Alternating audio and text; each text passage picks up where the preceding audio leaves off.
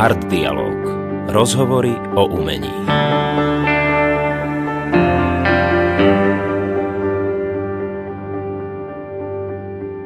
Ahojte, vítame vás pri ďalšom dieli podcastu Art Dialog so mnou Robertom Pospišom a Martinom Silajom. Ahojte. A našim dnešným hosťom je producent a vydavateľ audiokníh, náš veľmi dobrý kamarát Peter Ižďo Iždinský. Ahoj Ižďo. Ahojte, dobrý deň, ďakujem, že ste ma zavolali. Čau. Ja, že som sa nanútil. Vieš čo, to je podľa mňa úplne to isté v tom prostredí. Či ťa niekto zavolá, však to zmizne, často všetko ale vieš. Pamätáš si dobrú radu, čo ti niekto dal? Čo sa týka možno toho, čom sa pohybuješ? Vieš, ono, každá rada, ktorú ti... Čo vnímaš, že je rada, uh-huh. Tak je na niečo dobrá. A, je, a keď ju urobí, keď sa podľa nej riadiš nejakým spôsobom, tak uh, môže to výjsť a môže to aj nevýjsť. Ale keď sa poučíš, tak je to vždy dobrá rada. Alebo skús povedať tak, že čo by si robil dnes už inak, ako keď si začínal. Keď sa učíš, tak vieš, to je vždy nejak začneš. Začneš s nevedomosťou, s nadšením, so zápalom, s vášňou a potom vychytávaš tie muchy v priebehu toho času. Že to, čo sa urobilo v prvýkrát inak, tak sa už tak nerobí, lebo to nebola úplne najlepšia skúsenosť, ale zase je to dobrá skúsenosť v tom, že už človek to nezopakuje takýmto spôsobom. A máš pocit, že máš vychytané teraz tie muchy? Nie. No, no, stále niečo nové príde. Akože taký je život. Jak si sa dostal ty k tým audioknihám? Ja som mal audioknihy vždycky veľmi rád. Vždy to bolo také, že, som, že ma to zaujímalo a že som to rád počúval. A povedal som si jedného dňa, že, by, že to je niečo také, čo by som chcel robiť. Neviem povedať, že presne, uh-huh. kedy to bolo, kedy sa to zlomilo, že som si vravel, že to by bolo príjemné takéto veci robiť, lebo mám rád knižky, mám rád hovorené audio ako také ja som v podstate vyrastal a učil som sa veľa vecí na základe počúvania rozhlasu uh-huh. a rádia. V 91. roku som založil jedno z prvých súkromných rádií na Slovensku a vlastne bolo to prvé mimo bratislavské súkromné rádio, lebo predtým v Bratislave bolo jedno a to ma tak viedlo vlastne. Ako vždycky je pre mňa ten aurálny zážitok e, ne, asi najsilnejší. A čo sa týka muziky samozrejme. Ale to hovorené slovo, vždycky ma to Vždy ma to tak e, zaujalo. Keď bol niekto v rádiu zaujímavý a e, dokázal ma pre niečo nadchnúť, tak to bolo, že naj, najväčší taký, taký impuls vždycky k tomu, Myslíš, čo že dneska robil. ľudia, lebo podľa mňa sme v takej strašne rýchlej dobe, vieš, že všetko, aj tie pestičky, čo si ty hovoril, albumy sa preklikajú. Myslíš, že ľudia sa vedia ešte sústrediť na také vieš, dlhé audioknihy, že dá sa to? Ja to nevnímam, že, mm-hmm. že niekto, ja neviem, že či sa vedia sústrediť, to je na nich, že či tomu dajú ten čas, ten priestor. Ako ja dnes e, si každú audioknihu, ktorú začnem počúvať, ju vypočujem do konca, mm-hmm. lebo ma zaujíma ten proces, akým to robia. A sleduješ aj tých poslucháčov? Máš nejakú spätnú väzbu? Nemám reálne, že nejakú že zásadnú spätnú väzbu, akože, že mi niekto cudzí mi povedal, že toto sa mi páči z audioknih. Je príjemné, keď človek niekoho niekde stretne niekde na ulici alebo kdekoľvek a ten človek si takto cestou pri telefón, telefón drží pri uchu a ty počuješ, že počúva nejakú niečo, že tam niekto rozpráva a že to nie je telefonický hovor. A sa mi párkrát stalo, že páni alebo pán vyslovene, že počúval audioknihu. Nesledoval som akú, ale že to je také, že fajn, že človek si uvedomí, že naozaj to ľudia nejakým spôsobom e, príjmajú, vnímajú, to je že príjemné. Ale že by som mal konkrétne, že sledujem na, na tých platformách, kde sa audioknihy predávajú, že sa k tomu ľudia vyjadrujú, väčšinou veľmi, veľmi e, entuziasticky. Niekedy je niekto aj nespokojný, to je prirodzené, ale väčšinou sú tie, sú tie reakcie také, že sa im páči narátor, že je dobrý príbeh niekto niekomu nie úplne vždy ladí narátor s príbehom. tak ale sledujem to, ma to zaujíma. Máš ty taký pocit, že tie audioknihy sú ako keby rozšírený svet tých kníh, alebo ho požierajú? Vieš čo myslím, že či to je... No keby som si myslel, že by ho požierali, mm. tak to nerobím. Mm. A mám pocit, že, a myslím si to pozitívne, že tá interpretácia formou narátora alebo skupinou narátorov uh, tomu môže dať niečo viac, že to je také obohatenie tej knižky. A mal si takú skúsenosť, že niekto si vypočul audioknihu a mal si pocit, že to priviedlo k tým knihám, ako toho autora, že podľa teba to aj takto funguje, že si vypočuješ, že to nejak nečítal si to, počuješ audioknihu na základe toho sa dostaneš v podstate k tomu autorovi. K autorovi určite áno, ale že by niekto na základe vypočutia si audioknihy sa rozhodol, že bude čítať knihy, neviem o tom. Čiže dá sa to povedať tak, že bereš to ako keby rozšírenie toho sveta. Áno, je to rozšírenie toho knižného príbehového sveta. Možno keď nás teraz niekto počúva, vôbec nevie, ako to funguje. Jak to je, že vy si poviete, že chceme urobiť túto audioknižku, na základe čoho vyberete tú knihu? Neviem, či si spomínate, ja som vlastne prvú audioknihu uh, realizoval vlastne s vami. Ježiš, to je milé. Všetky cesty vedú k nám a do Ríma. Ktorú som robil, bola to knižka rozprávok Gianniho Rodariho rozprávky po telefóne. Ríšo Stánke to čítal vtedy. S Ríšom Stánkem a so Silvestrom Lavrikom sme to robili spolu.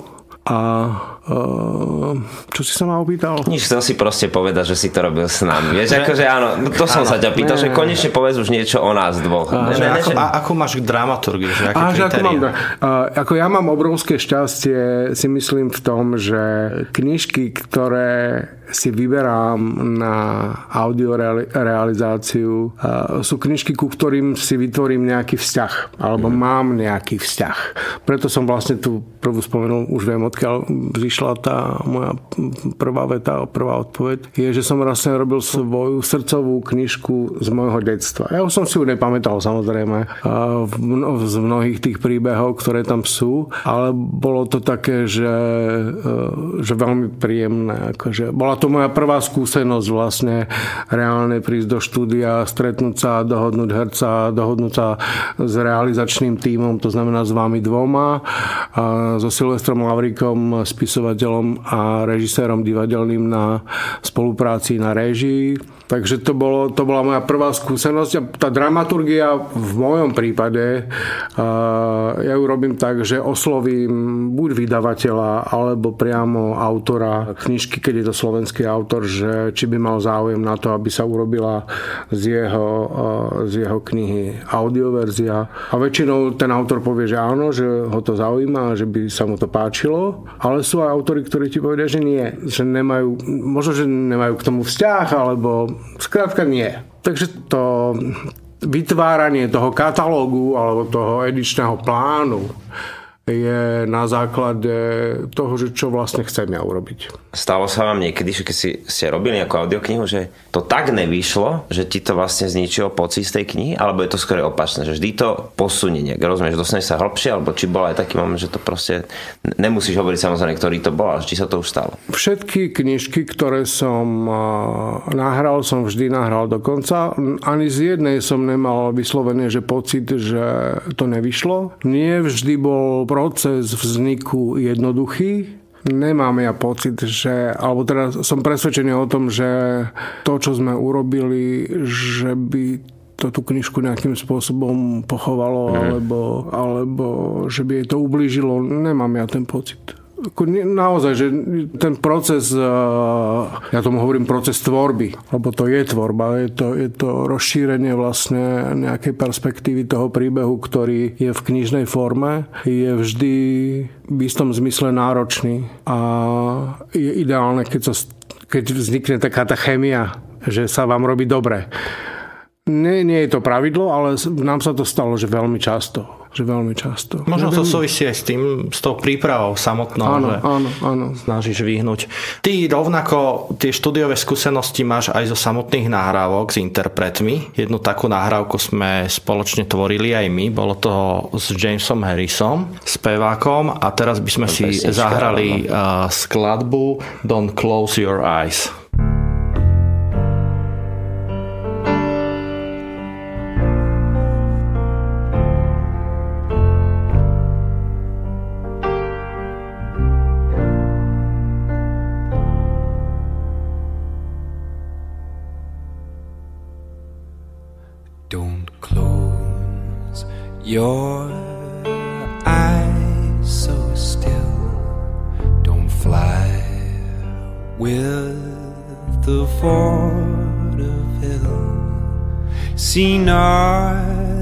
Their lights burning,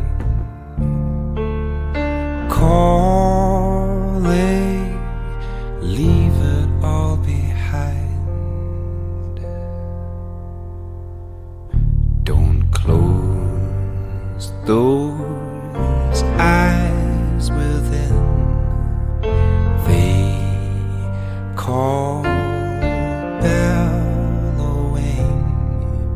See not their eyes on you, calling, cause I will follow you. Calling, just leave it, just leave it. Say it all, but I will follow back, you're needed, you're needed. The last song is all I have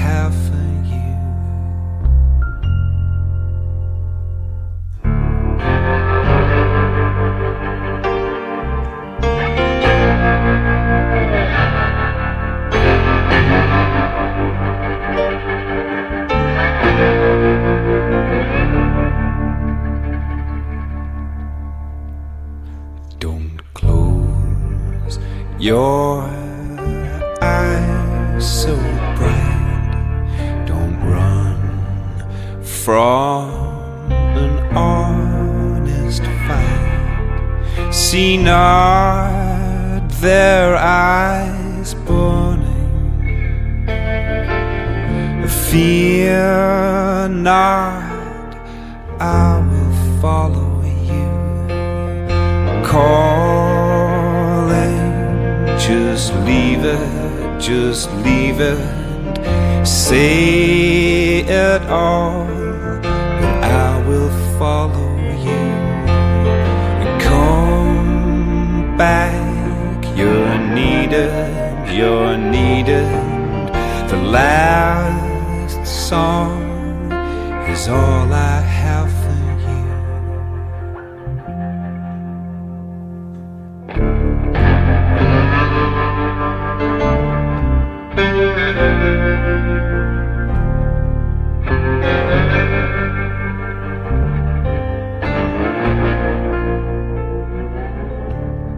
Ja by som povedal k, eh, k skladbe, ktorá vlastne doznela, že tá skladba bola súčasťou projektu, ktorý sme mali spoločný, volá sa Supernova Sessions. Boli to vlastne CDčka, EPčka, ktoré sme spoločne s Ižiom vyberali sme interpretov. Nahrávali sme to dosť tak old school, lebo to bola jedna z našich podmienok a toto bol vlastne James Harris. Eh, Aký je tvoj vzťah, keď si teraz sme, doteraz sme sa bavili v podstate o literatúre, ale tak ty si vyhlásený meloman. Aký je tvoj vzťah zase k hudbe, k takémuto nahrávaniu hudby? Čo, čo to pre teba znamenalo napríklad s týmto Jamesom? No s tým Jamesom to jednak, že ja pokladám Jamesa za jedného že z najkreatívnejších ľudí, ktorí tuto v našich blízko, blízkych guberniách existuje. Je to veľmi pracovitý človek. Mm, My sme si vytvorili relatívne že veľ, dobrý kamarátsky vzťah a to, že sme nahrali toto EP, na ktoré ja som veľmi pyšný. Dodnes a myslím si, že tie pesničky, ktoré sa na ňom, na ňom nachádzajú, sú veľmi dobré. Dokonca e, sa nám podarilo jednu pesničku aj vďaka vám umiestniť do o, veľmi populárneho polského filmu Plán B. Tuším, to bolo pred 4 rokmi. Alebo Tak to bolo, áno, Asi áno. tak nejak to bolo. A ten film videlo bez mála 5 miliónov ľudí v Polsku. Á, fakt. Mm, Čo sa týka len kinopremietania. A ja som kedysi pracoval vo veľkom hudobnom vydavateľstve. S takými smutnými očami si to teraz ako spomienky krstného otca. Vieš, ja som človek, ktorý je samorast. Ja nemám vzdelanie žiadneho takéhoto typu. Mám gymnázium a knihovnickú školu a k muzike som vždycky inklinoval od detstva. A to, že som sa dostal do vydavateľstva, bolo pre mňa že, také, že, že veľké, vieš. Bol rok 1996 a ja som zrazu do toho veľkého, kvázi veľkého sveta prišiel ako človek z rádia. A bolo to pre mňa že, že dobrý zážitok, že do, veľmi dobrá skúsenosť, dobrý zážitok. Trvalo to 3 roky a to je všetko. Ne, no, akože, však robil som s tými, s tými, ktorí sú ešte dneska slávni, akože, hej, akože slovenský slávny, či už je to Jana Kiršner, alebo Ríšo Miller, aj IMT Smile. Akože to sú také tie mená, akože, ktoré sa dnes veľmi ja neopieram. Ale bolo to veľké vydavateľstvo a to chcelo vydávať hity a tak sa ten repertoár pripravoval tak, aby sa to dobre predávalo. Uh-huh. A musím povedať, že sa mi jedna z takých perličiek z toho môjho trojročného pôsobenia bolo to, že sa mi podarilo vydať, že medzinárodné platňu, teda album Petra Lipu Pepl Speje Jazz, to bol vlastne duetový album s Petrom Brainerom, kde Petr Lipa spieval e, štandardy jazzové a, a to sa nám podarilo vydať na takej francúzskej značke Emarky, ktorá vlastne mm. patrila pod e, Universal. Neviem, či tá značka ešte existuje dnes, netuším to. To je také, že, že to vyšlo, hej, hej, akože to nebolo, že ani, ani komerčné, ani, ani populárne, ale vyšlo to, vyšlo to a ja som z toho bol veľmi šťastný. Ty si povedal, že to bola veľká skúsenosť pre teba. Vedel by si to ako povedať, že zhrnúť to tie tri roky pôsobenia v takom veľkom vydavateľstve, že čo si si vlastne odtiaľ odniesol a že či to aplikuješ dneska napríklad aj na tie audioknihy alebo na hudobnú produkciu. No, čo sa týka hudobnej produkcie, ja to vlastne robil, robil som to s vami, eh, ale inak som sa do toho nejakým spôsobom nezamotával. Robili sme toho Jamesa, Supernova Session, potom sme mali takú tú avantúrku s eh, kumpánmi Luba Petrušku. Áno, legendárna nevydaná doska sa áno, legendárna, to, to bude niekedy, no. Raz to príde, raz to príde. Raz to príde. Sme natočili tiež za dva dní naživo materiál Satin Lead, na ktorý dodnes určite fanúšikovia fanúšikovia tejto čakajú. Uh, plátne čakajú, že kedy to vlastne vyjde potom pečku, ktoré si oni vydali sami. Ale jeden single vyšiel. Jeden single vyšiel, je to pravda, z toho, z toho, čo sme nahrávali my, ja ani neviem. Na nejakej výberovke na nejaké výberovke. A to ste, a to ste vy ale posúvali tam. To Áno, si, on, on si to pýtal, on si to pýtal. Viem, že... A to, to, to, to, potom robili tí, že Sonko. Čo niečo také to bolo, nejaký hej. taký, že čo sa dialo v tom roku, to si pamätám, že jednu vec zobrali. Ale to sme odbočili k Strašek Petruškovi. My sme to chceli... že, že ako by som to, ja sa o hudbe akože profesionálne nevenujem, ako je to vyslovené, že len uh, načenecká záležitosť. A už sa ja asi venovať ani nebudem, lebo to, že robím tie knižky, a ma tak zaneprázdňuje, že že dnes hudbu vnímam len vyslovene ako poslucháč a veľký nadšenec a fanúšik a Ale to je dôležité, sledujem, určite, sledujem, čo je nové, vždycky, keď je ten piatok a ja si to prebrousujem, že čo nové vyšlo, tak tie veci nové počúvam a nemám, a to sami dobre viete, že ja nemám že hranicu v tom, že toto počúvam a toto nepočúvam. Ja si viem vybrať a myslím si, že mám v sebe ten pocit, neviem odkiaľ som ho dostal z vesmíru, že viem, že čo je naozaj dobré. A je niečo dobré, čo ťa oslovilo v rámci slovenskej scény za posledný rok napríklad? za posledný kalendárny rok. No tak lunárny. Uh, uh, lunárno-kalendárny rok. Páčil sa mi album uh, od uh, to je veľmi populárna kapela. Že, veľa, to, veľa ľudí nám o nej hovorí. He, sú dve populárne, jedna je mm a druhá ten, je neviem. Ten album je, ten sa mi páčil a mm-hmm. Potom... Sa ti páči ešte ten mm, aj ten, ten je dobrý. Mm, a potom tretí je... Počkaj ma, počkaj, nie, ten, mm, ten nebol až taký dobrý. Nebol, mm, ne, ale neviem. Ale ten tretí, ten, ten A... Ten neviem, neviem ten bol, je... Ten A bol, ten bol zaujímavý. Um, no a vy najlepšie viete, že tu vznikajú hudby všelijaké. Sami ich robíte, sami ste častokrát ich spolutvorcami. Ako sa volá tá kapela? Bože, ja teraz to je úplne, že mám blackout. To je v poriadku, ale kto spomenieš si? Spomenieš si. Spomeniem si, bože.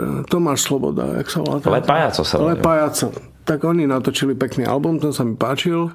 Veľmi sa mi páčil e, posledný album Sony Horňákové, ale to už je dávnejšie, to ste robili vy. To už je 3 roky. podľa mňa. To už sú bude. 3 roky. Alebo... Šera lesklých stromov. To budú, myslím si, že sú to už 3 roky. Musím vás klamať, ak si si myslíš, že to je nové, čo? No, no, no, no, akože úprimne ja to veľmi nesledujem, akože na Slovensku ani vš- Veľmi sledujem Polsko, lebo to ma zaujíma, to zase viete, že ja som taký, že na Polsko orientovaný. A tam viem, čo sa šustne, viem, čo vzniká, viem, čo sa vymýšľa, poznám niektorých tých ľudí. A mm, čo sa týka toho, že či mi e, fungovanie v tom kvázi veľkom hudobnom priemysle, či som si niečo zobral do toho, čo robím v tých audioknihách.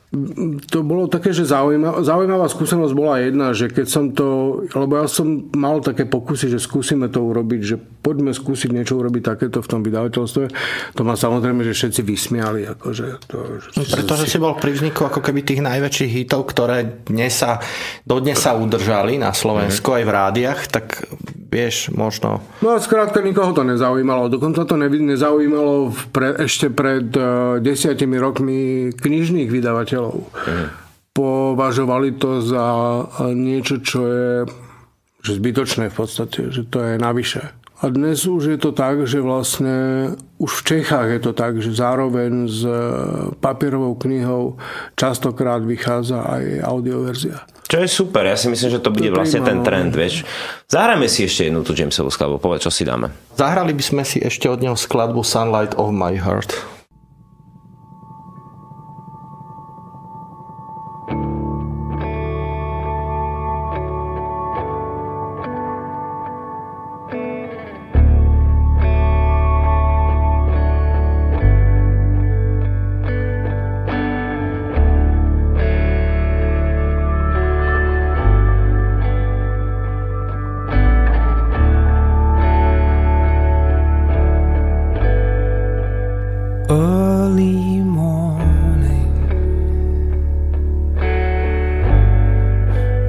With the sky still yawning.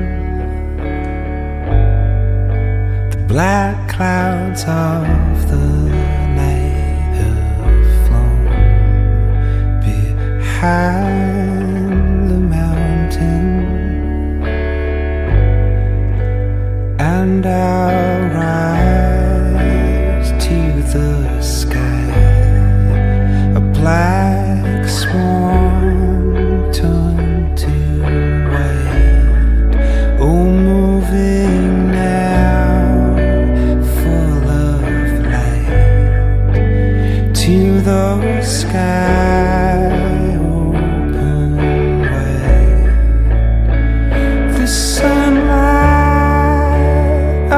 my heart, the sunlight of my heart,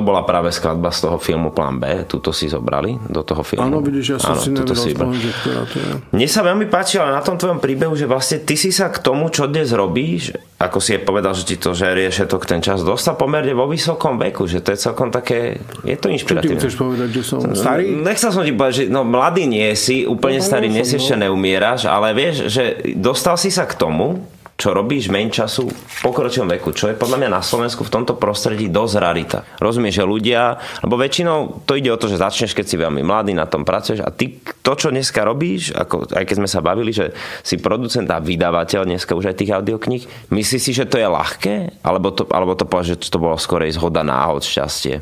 Ľahké čo? No, že, že ty sa proste rozhodne, že chceš vydávať a robiť audioknihy. A ty si sa tomu dostal, išlo ti to strašne prirodzene. Mám pocit, že jak sme sa bavili, že to Johnny Rodariho, není to zase, mám, tiež máme ten pocit, že to bolo včera a dneska tu sedíš, tých knih je neurekom, v podstate o tebe viem, že to robíš stále, že to ide, je to taký neuveriteľný sled. Možno si sa nad tým tak ty nezamyslel. Takto, keď to niekto sa na to pozrie vlastne zvonka, tak je to podľa mňa dosť taká rarita v tomto Vieš, prostredí. uh, ja, ja som mal v podstate vždy šťastie v tom, že som robil to, čo som chcel. Ja nikdy som nerobil prácu, ktorú by som robiť nechcel. No. Čokoľvek som robil.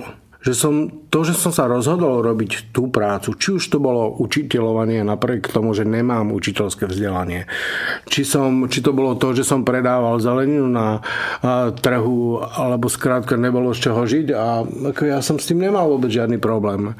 Či som bol vo vydavateľstve hudobnom, či som robil pre neziskovku uh, Open Society Fund niečo. To, že som robil rádio, to, akože to bolo, že vždycky sa mi ako keby plnil nejaký sen. Ale ten najväčší sen pravdepodobne, myslím si, je to, že som sa dostal k tým audioknihám touto cestou.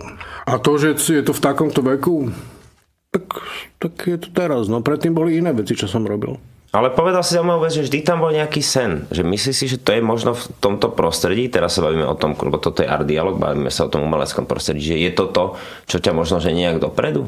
Čo ťa motivuje? Áno, áno, určite ma to motivuje. A čo máš teraz s tými audioknihami? Čo by bol, keby si ma povedal, že Ižďov cieľ teraz s tými audioknihami je toto? Á, jasné, to som vlastne chcel aj už skôr povedať, ale až teraz to vlastne prišlo. Nemáš ja som, ja som si, ďakujem ti, uh, ďakujem ti, uh, som chcel povedať, že vlastne by som chcel urobiť, že 333 audiokníh a potom už nechcem robiť nič, alebo... Počkaj, aj nebych- 333. Áno, 333. Ale ty si nikdy nebol moc skromný človek, zase už aj s platnemi. 333 to je dosť. To Že? nie je málo, ale keď si uvedomím, že vlastne teraz mám za sebou určite 40 ktoré sú že Mhm. dokončené a gro z nich sa urobilo za posledné dva roky. Ja myslím, že to je zrealizovateľné. To je len o tom, že ako postavíš tie týmy, ktoré to robia. Ja robím e, väčšinou, veľkou väčšinou robím s mladými ľuďmi, ktorí vlastne v tom audiobiznise no, produkčnom ani veľmi neboli. Sú to väčšinou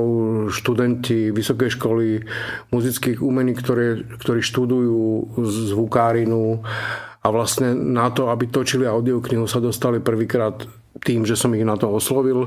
Režisérov mám tiež študentov, väčšinou študentov občas siahnem po niekom renomovanom, ako je napríklad Silvo Lavrík, alebo Robo Horňák, alebo Janka Strnisková. To, ako ja myslím, že sa to dá spraviť, len človek to musí mať, že dobre rozdelené a ako, to bude fajn. Ja si myslím, že to... Áno, áno, že tá 333 audiokníh, to nemôže. Ten- Leda, tá- počkaj, keď sa dostaneš k tomu, alebo 666, to by bolo divnejšie číslo. Tak to ja zase nie som až taký veľmi... 666 Taký, audiokníh. taký, taký Ale po audioknihách, po audioknihách sa vrhneš zase na niečo iné, vieš. 666 dokumentárnych ne, filmov. Neviem, potom už nič. Ale e, tak zoberte si, že ako dlho to robíte vy a koľko ste natočili albumov. No, a tak albumy, áno, no, veľa. Ale vieš, natočiť, e, natočiť audioknihu je tiež proces, ktorý trvá nejaký čas. Možno, že je to čas porovnateľný s natočením albumu, keď s niekým natáčaš, že ho priamo ty netvoríš. Lebo keď e, príde niekto, ktorý má, kto má uh, hotový matroš, tak, e, tak príde, natočí sa, potom sa urobia nejaké úpravy, dotočí sa, trvá to 10 dní. 10 rokov niekedy. A niekedy aj 10 rokov. Áno, mali sme aj také, že sa prišlo, sa natočilo sa, áno. Sami veľmi dobre viete, ako dlho sme natáčali a nakoniec nedotočili a dotočili inde a s niekým iným Drakulu s Robom Rotom. Ale veď povedz si Dracula. Drakula, áno, to bola... To bol projekt. To je, áno, občas v noci, keď je tma. E, Ma, keby som sa ťa spýtal, že keby si si povedal, že jednu výsnenú knihu, ktorú by si chcel mať s kým a ktorú a že nech je to tá 333. Vieš, by som ti povedal, že a hociko, Počúvaj, hocičo. a ja si myslím, že a, sme sa o tom aj bavili my svojho času. Tak ale to je iné, keď sa bavíme my dvaja, vieš, to ľudia tam neboli. len, že, e, že, že, že určite by som veľmi, veľmi, veľmi rád urobil a, audioknihu z knižky Ilfa Petrova Zlaté tela. Mhm.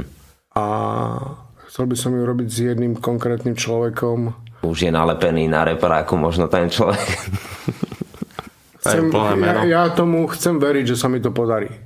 Lebo sa s tou myšlienkou zahrávam už v podstate 3 roky, Mhm. ale neurobil som preto ešte nič. Akože reálne som preto neurobil nič, aby som povedal, že dobrý deň, prosím vás, ja by som s vami chcel natočiť tú audioknihu. Kľudne to môžeme robiť rok, však nebola by to výnimka, Mhm. ale chcel by som ju robiť s vami. A keď mi ten, eh, ten pán... Tajomný človek. Ten tajomný musíš povedať. Vieš, mu, musíš to po- povedať? No, však musíš sa... Tak dobre. Nie je veľmi Nie, populárny nebudem. človek v Bratislave. Nikto je populárnejší. Tak to Tak ne, nechcem to povedať. To je dobré. Nechcem to povedať, ale to je také, že to by som chcel urobiť. Nehovorí, keby to bola, že 55. kniha, tak to bude, že mega turbo najviac. To by som veľmi chcel urobiť. A držíme ti palce. Držíme ti palce. Držíme ti palce. Takže ďakujeme hosťom Art Dialogu bol Peter Ižďo Iždínsky. Ďakujem, že si prišiel Ižďo. Ďakujem. Ďakujeme.